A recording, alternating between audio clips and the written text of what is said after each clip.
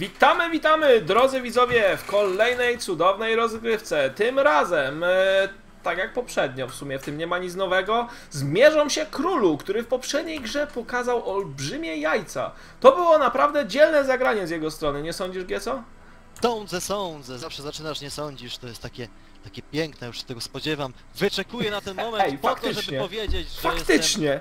Jestem, że nie mogę się doczekać tego, co zobaczę tutaj, a gdybym miał obstawiać, to bym po prostu obstawił Forgate'a i e, Robo i War Prisma na szybko, bo widać, że Król tutaj takimi, staty- takimi strategiami potrafi wygrać, że... No właśnie, tak, tak, O to, nie umiem się wydukać. to Ty jest... już mów, bo ja już się zapultałem.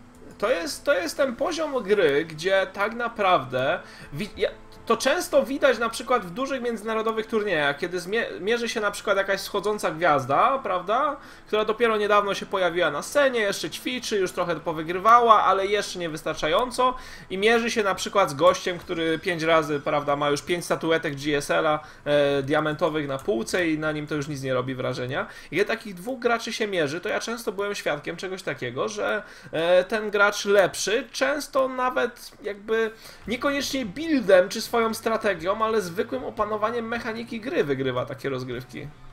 Grają często, można to nazwać nawet od niechcenia. Znaczy tak, tak, O, nie, nie, pod, pod publiczkę trochę zrobiona, ten Mothership był śmieszny, nie sądzę, żeby grał e, to, gdyby nie było właśnie streama. A teraz y, pokusiłbym się stwierdzić, że z jakimś szybkim cheesem wygra, no bo tutaj jest zdecydowanym faworytem i nie wiem, czy by chciał to przedłużać na siłę. No, Zwłaszcza, Nercio, spoczem. Nercio też czasem u nas grywa w turniejach, wiesz, y, przychodzi do, na jego prokaba, my wtedy wszyscy robimy oczy Nercio, Nercio, a! Ale Nercio grał randomem zanim grał więc on jest... On jest bardzo, mocny. bardzo dobry w graniu takich właśnie dziwacznych rzeczy. Co mnie, co mnie rozwaliło, którego ostatnio chyba Nercio zagrał y, jakąś taką śmieszną, harasową modyfikację 1-1-1, że najpierw szedł haras Herionami, potem Cloaked Banshee, a potem poprawione masą Marinesów i tanków, prawda? Takie, y, taką... to była masakra. Natomiast on to tak dobrze rozegrał, ja mówię, kurde, stary, ćwiczyłeś teranem? Nie, wczoraj coś takiego w GSL-u widziałem. Mówię, kurde, człowieku. No, to taka prawda, jeżeli zapotkaje terana, to co to jest za problem grać z jednej bazy, no, dla takiego zawodnika. No, to też prawda. W sumie jak on jest przyzwyczajony do ogarniania trzech czy czterech, to jest wszystko smutna prawda. Natomiast pamiętajmy, że niektórzy z nas próbują tą grę ogarniać, prawda, latami i, i nie dochodzą nawet do połowy tego poziomu, a taki nerczy sobie po prostu pyk robi. Oj, tymczasem Giorgio coś tutaj kombinuje. Mamy jedne reaksy z reaktorem i drugie reaksy schowane. Nie wiem, czy to ma jakieś głębsze przesłanie obecnie, czy to będzie znowu szybka ekspansja. Podejrzewam, że tak. Na drugich się pojawi Techlab, znam ten build chyba. E, natomiast, e, no tak jest, Techlab. Mamy Techlab. E, takie otwarcie dla, dla Terana jest nie dość, że szalenie bezpieczne, to jeszcze dosyć ekonomiczne. E, z dwóch baraków, gdzie z jednego non-stop lecą Marinsi, z drugiego Marudery, można naprawdę sporo ugrać. Można spokojnie zabezpieczyć swoją ekspansję do momentu powstania bunkrów. To jest pytanie, jakie mikro ma Giorgio z Konskasi Szelem, bo tego będzie zależało, czy ten push w ogóle będzie skuteczny. No, Ale ja wierzę w Giorgia. Giorgio to jest, to jest stary ojciec chrzestny, to jest don wszystkich graczy. Tymczasem Proberto Królu został zesnajpowany haniebnie Król przez... wyskautował to już, wyskautował, Tak, także tak, spodziewam się, że Mhm. pójdzie zaraz w Immortala dokładnie i... Pusza No, nic nie będzie. Zatem nic strasznego, ale Królu cały czas siedzi na jednym gejcie, jest ten Immortal. Co Królu będzie kombinował?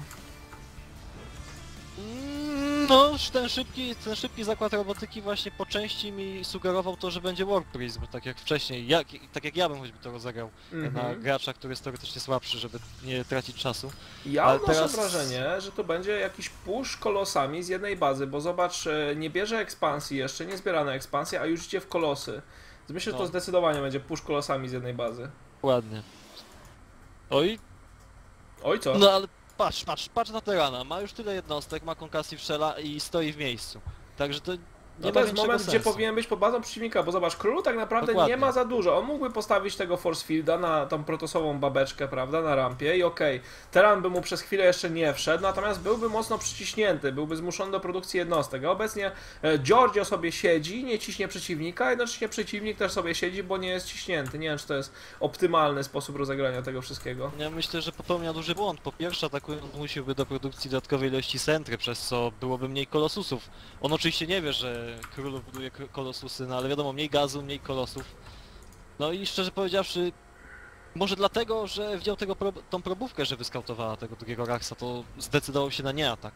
Tymczasem Nie no, mam jakiś dziwny build ze strony, znaczy nie tyle dziwny, co troszkę inaczej spodziewałem się, że to się potoczy. Giorgio myślałem, że, że pyknie zaraz sobie ekspansję, tymczasem on zupełnie nie, nie idzie w ekspansję, idzie najpierw w Medivaki, e, ma trzy raksy łącznie, to jest bardzo dużo, więc ta jego ekspansja będzie równie późna co protosowa. No to jest, to jest dobre wykorzystanie mapy, jeżeli chodzi właśnie o ten, ten krótki spot, ale chwila, mamy, Ale- bo ale- tutaj leci już Warpis Mhm. ze speedem. I A zatem, czyli honory. Dwa Immortale są bardzo dobre na probówki, gdyż mają je na jedną salwę, ale wiadomo, że SCV ma nieco więcej HP i szczerze powiedziawszy, no nic z tego nie będzie, bo już bardzo ustawione dobrze są te y, mariny. Ale widzieliśmy jeden mecz, ostatnio widziałem jak Grabi grał. O, o właśnie, właśnie, takie motanie, po prostu jakby kijem w rzece motał.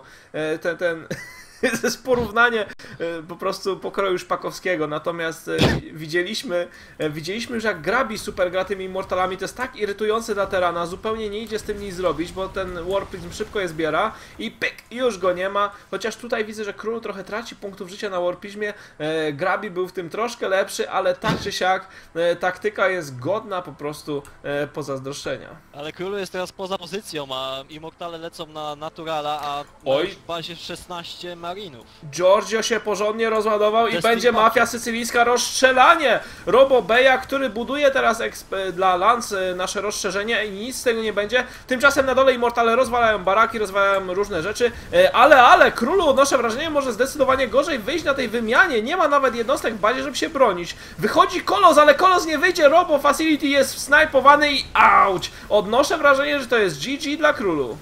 Zdecydowanie, czyli wbrew wszystkiemu można by powiedzieć, ale tutaj wykorzystanie imbalancji mapy i krótkich spotów powietrznych powoduje to, że właśnie tutaj ja jestem zszokowany. Nawet jeżeli by fokusował te mediwaki, to tych marinów jest już za, zbyt dużo, zbyt duży DPS. 14 supply do Nie ma 59 probówek. Ale królu się nie poddaje, on jeszcze pokaże, ej, ja umiem odpierać puszę czterema zelotami.